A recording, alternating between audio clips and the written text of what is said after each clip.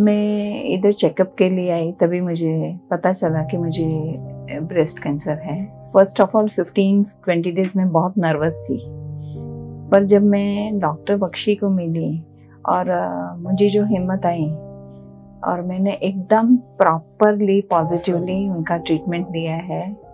And she is very good doctor बहुत understand करती है पेशेंट को।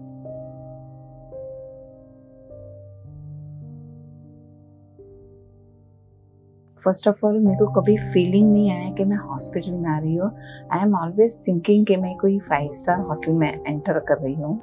uh, मुझे uh, बहुत ही यानी हॉस्पिटल के रिस्पेक्ट है. Thank you very much